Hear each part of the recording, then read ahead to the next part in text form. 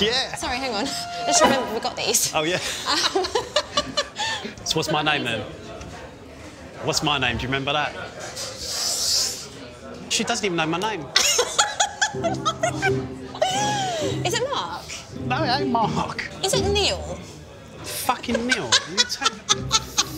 No. What do you reckon it is? Go easy. It's like a Tim. Tim, nice but dim. Yeah, no, I've got no, no, sorry. Oh God. Luke. Is it Lucas or just Luke? No, it's Lucas. That's why I said Luke. it's not Lucas.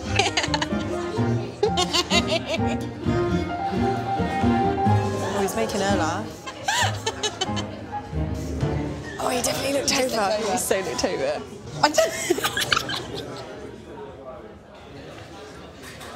feel like a terrible person, but it's because I was so nervous. Because it's quite intense, isn't it? Dating is intense. Listen to this.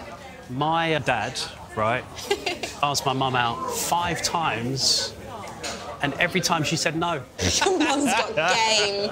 But, um, I'm quite, I'm quite close to my family. You know, I think, um, yeah, I've I've always had their support. You know, in my 20s, I had a serious motorbike crash, and um, I broke my back, smashed up my arm, and my hand was paralysed for five years, and it was, it was quite life changing. Had a lot of injuries internally as well. Uh, I was in a hospital in uh, intensive care and fighting for my life, basically.